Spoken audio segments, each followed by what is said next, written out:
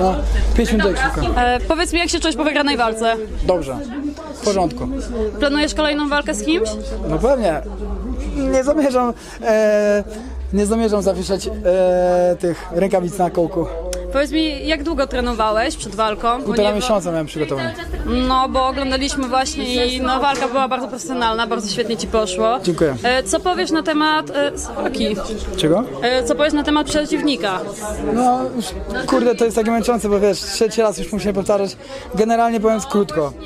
To nie była Adasia najważniejsza walka, najważniejszą walkę wygrywa cały czas, bo jest na dobrej drodze i tego mu życzę. E, trafił na mnie, ja jestem wymagającym dosyć freak fighterem, bo nie zawodnikiem. E, zrzucony został na głęboką wodę i jeszcze raz, byczku. Chodź do nas! Tym, ale dobrze, chodź tu, Maria. Chodź do nas na chwilę.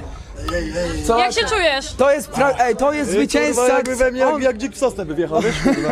ale to jest, to jest zwycięzca, on cały, codziennie wygrywa i codziennie wygrywa dopóki, dopóki nie zajdzie na Trzeźwość, to... samodyscyplina, tak. Pawlo, sam kurwa, wiesz, dlatego e, Ale kurwa... byłeś niesamowicie wytrzymały. Tak, Dostałeś kurwa. naprawdę Ej, ja ciężkie to ciosy. kurwa, nie takie ciągi, kurwa, kopały. Dlatego szacunek lecę dalej, dobra? Byczku, jeszcze raz bardzo dziękuję za walkę. Jesteście niesamowici, gratuluję. Dziękuję wariacie jeszcze raz. Czy chciałbyś coś jeszcze po prostu do, dodać do tej walki? Chciałbym dodać tylko tyle, że pozdrawiam moich hejterów wszystkich, którzy liczyli na to, że przegram, ale musicie jeszcze kurwa trochę poczekać. Gratuluję, Nara. bardzo dobrze. Trzymaj się, dzięki wielkie. Hej.